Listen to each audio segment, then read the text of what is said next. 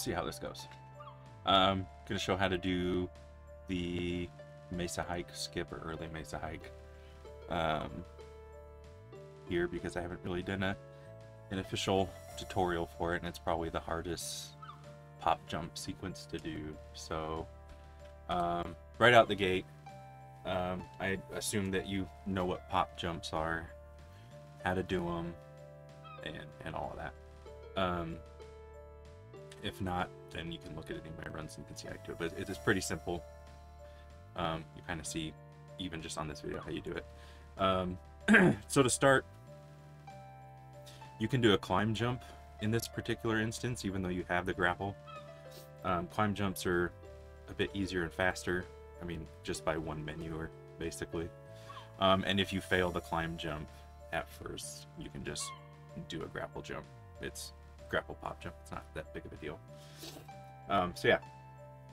Um, I'll try to go step by step. My fingers work super fast in my muscle memory, and the timings can be a little bit quick, and you don't want to mess it up, or else you free fall into the void. So, um, I'll try to explain it as I go.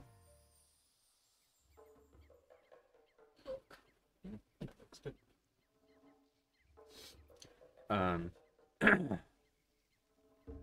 so, um, yeah. So we'll go on the climb here. We'll start the pop jump. And make sure that we get, there we go, already looks good. So we're going to go to the right and then to the upright as much as we can. And now we're going to do pop jumps to the right until the screen doesn't move anymore after you change order.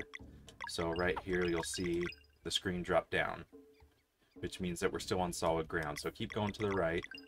There's actually going to be a harsh drop here in a second. It'll bring us way down. Not yet. There we go.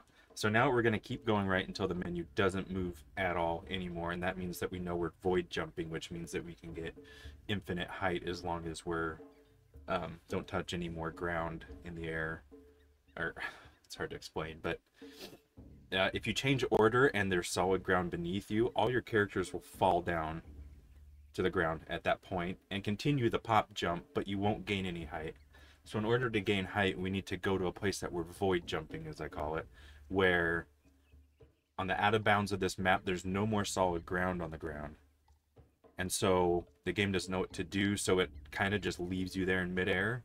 And if you move to the right, you know, up, left, you're, you're still um, pop jumping, except you're at that point in the air now, rather than on the ground, just continually moving. Um, it'll make sense after a while. So what we're going to do, we're going to go all the way to the right until we're void jumping. And then once we know we're void, uh, void jumping, um, go right one more time. And then I like to do three void jumps up.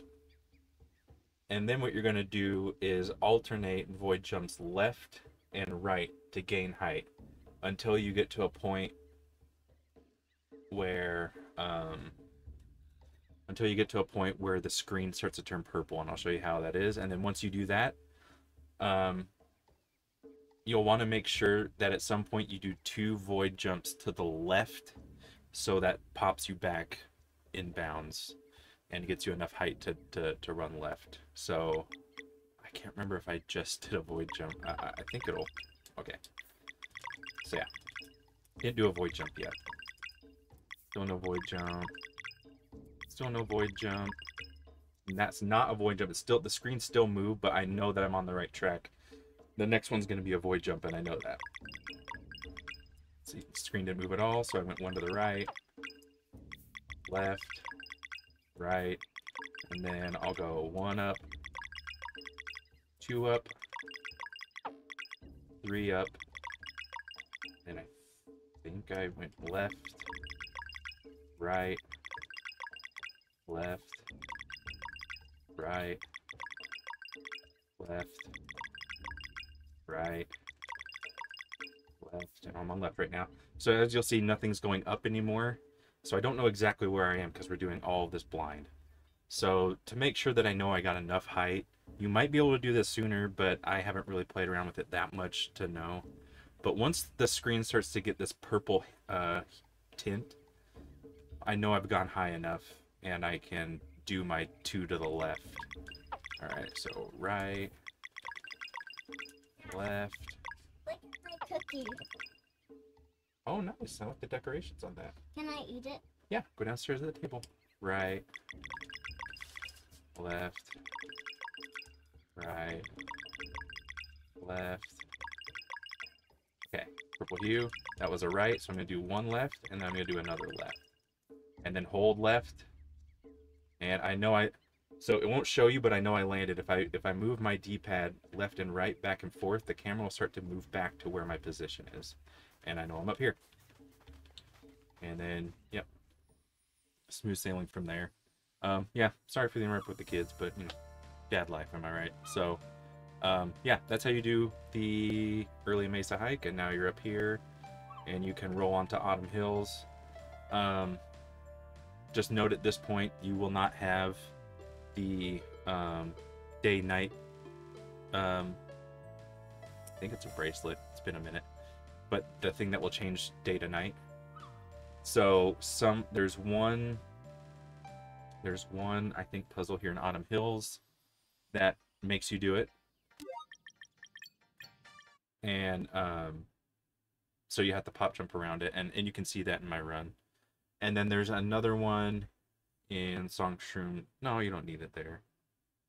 Um is that it? There's I think there's just the one. Oh, and then at the top of the the hill before the the leaf monster boss, the tree boss that you end up skipping, there's a door that you can't access without changing day to night. But what you do is just you rest at the campsite. So, um, yeah, that's early Mesa hike. Um, bye.